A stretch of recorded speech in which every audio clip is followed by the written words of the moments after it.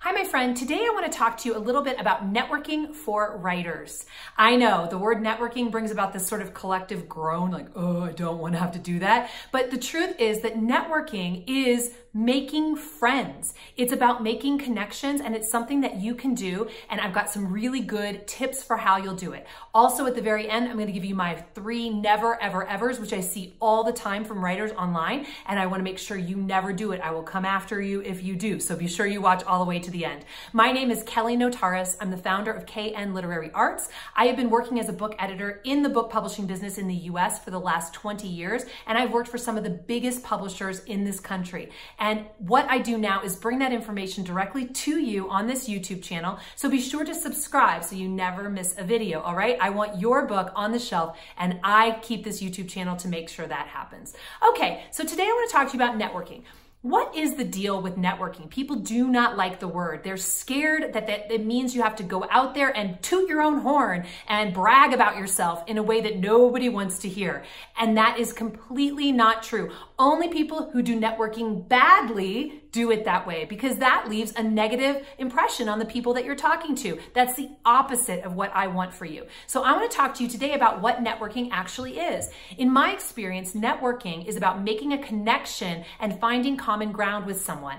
And then it's about trading services, trading gifts in exchange for one another. So my number one, first, most important tip I have for you when it comes to networking for writers is to make sure that you give before you ask for anything, okay? So giving something could be as simple as finding an author online whose book you really liked and leaving them an Amazon review telling other people to buy it. It could be something like inviting an author to guest blog on your blog. There you're giving them the gift of exposure to a whole audience, yours, that they've never known before. Um, if you have a podcast, it's an excellent way to get those connections made is to host a podcast and invite people who you would like to be in connection with to come and be a guest on your podcast. That is an excellent way to make a really deep connection because you're going to have a conversation with them. So in this way, you are inviting them into uh, something that's of benefit for them, giving them a platform from which to speak to an audience that they've never heard of before, or, you know, again, leaving a, a review where you talk to people about how great their book is, right? So you don't know how this exchange is going to happen. And that is my second tip. Be open to the mystery. Be open to whatever the possibility is of why you are connecting with that person. If you go in and you say, I want to be connected to this person because they got an endorsement from a high level author on their book and I want them to introduce me to that high level author, I almost can guarantee you that is not going to happen. So a lot of uh, endorsements actually happen based on previous networking, on previous experience, um, people who know each other personally. No one is going to hand over a book by someone that this famous author has never met before and say, you need to make an endorsement here. Why? Because my connection with that author is authentic and true. I'm not going to try to turn them into some sort of a marketing cash cow for myself or to try to win favors with someone else. No one does that. In fact, that's terrible networking. Um, instead, make a lot of connections, plant a lot of seeds where you don't know when or how they are going to come to fruition. I promise you, eventually they will. Okay, number three is that you want to learn how to listen really well. So asking questions is key. When you are in a connection with someone, be it at a writer's conference, someone who's on a podcast, someone who you're um, chatting with because a third person put the two of you in touch, make sure you ask more questions than you answer. Really get information about this person. Find out what makes them tick, not in a weird, creepy way, but just in a way like, hey, how can I help you?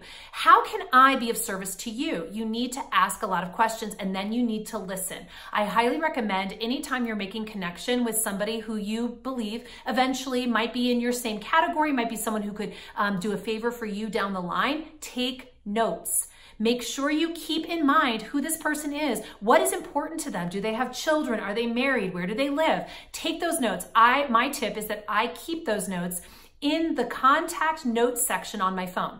So I open up a contact that I'm talking to and I will just, you know, maybe I'll take notes on a piece of paper and transfer them later. Maybe I'll do it on my computer while I'm on the phone with them. I'm gonna just take some notes. What's their wife's name? What's their child's name? Where do they live? What's important to them? So that the next time we connect, I can go back there to get reference points for what was the connection that we had, okay? Again, I have no idea when this person's going to come back into my life. I have no idea how they're going to show up for me, but this is a really good way to make sure that the next time we're in contact, I remember these things. Maybe if you're talking to a writer, it's what is the new book that they have coming out? When is it coming out? Put that in your calendar. That day, their pub day, send them a congratulations text or email. I mean, so few people understand that your publisher is not going to like really go big guns on your pub day. It feels great to get a little ping from a friend or a contact, someone that knows that that day is big for you and just saying congratulations and good job. So, you know, put that in your calendar. Taking the time to be creative and thoughtful is the best way to nurture a contact over time. Okay, the last tip I want to give you, and this one, it's so funny that I have to say this, but unfortunately, my friends, I do. Say thank you. Say thank you for taking the time. I know how busy your day is. It really meant a lot that you were willing to talk to me. Write a thank you note and put it in the mailbox. I said it. I know, crazy. It's so like old school to do that. It's what my mom made me do every single time I got any gift from anyone in the world. Before I could enjoy it, before I could spend any money that I was gifted, before I could play with the toy, I had to write a thank you note. And you know what? It taught me the power of saying thank you. And you can, you don't have to always send it in the mail. It depends on what the scope of the experience was was. Let's say you went out to um, tea with somebody. That's a big chunk of their time. They drove to the tea shop, you had your cup of tea, they drove home. That's a big event. I would actually send a thank you note for that. Um, and also ask them, is there anything I can do for you while you're there? That's another way of saying thank you. Like, thank you so much for giving me the information you just gave me, letting me pick your brain. What can I do for you? And then presuppose some things that you could offer and say, you know, in your thank you note, if ever I could introduce you to so-and-so, or if ever I could get this going for you, please let me know. I'd love to help. And then when the time comes and they make that request, do it, okay? You've got to actually do it and prioritize it. This is how we keep networking contacts alive. Okay, so what are my three absolute never, ever, ever, ever, evers? Okay, these are so important. I just had one of these happen the other day. So without having um, a lot of contact, Uh, someone who knew me from online wrote me and said, I just wrote you the most amazing review on Amazon for my book, The Book You Were Born to Write. And I was very excited. And I went and read it. It was beautiful. And I wrote back and I said, thank you so much. And then this person said to me, now I hope you will review my book. Ooh. No, no, actually, that left such a ter terrible taste in my mouth. I'm actually not interested in doing something, in receiving your review in if you believe I owe you something in return. That's the thing about networking that feels so icky. It's not actually I'll scratch your back so then you have to scratch mine. Here's how. Can't be like that. It's more like um, I would love to scratch your back. And if ever, you know, if you would love to scratch mine in return at some point down the line, here's my number. It's not, you have to do this, I want you to do this. When it comes to Amazon reviews, it's a big one for me because obviously I'm a book editor. I care a lot about my name and my reputation. I need to make sure I really like your book and think that it's worth it. I'm not just gonna give you a review in exchange for you giving me one. I can't do that. It actually doesn't work for my reputation. The fact that this person didn't understand that showed me that they weren't really thinking about who I was in the world. And that to me was a turnoff. So never ever expect something, someone ask for somebody to do something um, very specific you know, in a way that it feels like bribery. Hey, I did this for you already, so you need to do this for me. It does not feel good. Okay, another online no-no. Please do not drop your URL in comments on someone else's post. It is a notorious sign that says amateur, amateur, okay?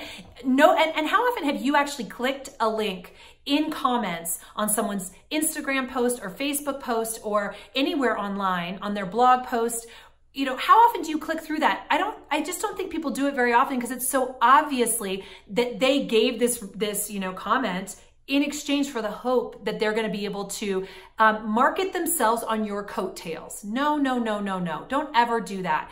It is wonderful to build a relationship with someone over time by commenting frequently on their posts. But don't ever use that platform to get something in return. You're building relationship. There's a real difference between building relationship and trying to find a place where you can post your own billboard. Okay, so never ever do that. And then the final one that I want to say is don't ever expect success to happen overnight. Never, ever. If you do, you will be disappointed. You will think that marketing, that networking doesn't work for you. It's simply not true. It sometimes takes a really long time. So I'm going to finish this up by telling you a story about me because I had an amazing networking experience that has really built my company for me, and it can do the same for you and your book. I had no idea what I was getting into. I was working at Sounds True as a, um, the vice president in charge of the creative division, and I had gone to Book Expo in New York. It was really important to me to go there and network. That's what that event is about. You go and meet people, and you know you get to know people that you wouldn't otherwise meet and know, and maybe you have no idea what's going to come of it. So one of the things that we used to do was organize a dinner called the Woo Woo Dinner, which was for all the publishers who were the spirituality, personal growth, self-help publishers, and anyone who was representing those publishers publishers at Book Expo was invited to a dinner. So I ended up being seated across from Reid Tracy, who is the CEO of Hay House, another major spirituality personal growth um, publisher. And at that event, he and I simply connected as people. I'd never met him before, and I'd heard a lot about him, but I, you know, hadn't um, ever had the pleasure of being in his in his company. But we actually really got along. We saw things similar ways. We talked about things we knew, people we knew in the business. It was just a way we we built a lot of common ground. And at the end of that dinner, Reid said to me, "Someday you're going to work for me," and I I was like, "Ha ha, who knows? We'll see." Well, look at this. I don't actually work for Hay House, but over the course of many years, let, us see, that was at least four years before I was invited to speak at the Hay House Writers Workshop for the first time in 2013. And that was really where I met my core audience uh, for KN Literary Arts. And so I just want to say, you, you just don't expect anything to happen overnight. Don't even know, Go in with a completely open mind and you will not be disappointed. So never ever go in with some expectation that it's going to turn out one way because it'll probably turn out another. And if my experience is any um, example, it will actually turn out way better than the thing that you thought you wanted. All right, my friends, networking for writers can be fun. It can be lively. It's really about making friends. I hope this video has been helpful to you. If it has, please, I'd like to know from you, what has been the most successful networking you've ever done? What is your definition of networking? Please leave me a comment below. I always respond to the comments. Looking forward to hearing from you. And in the meantime, happy writing.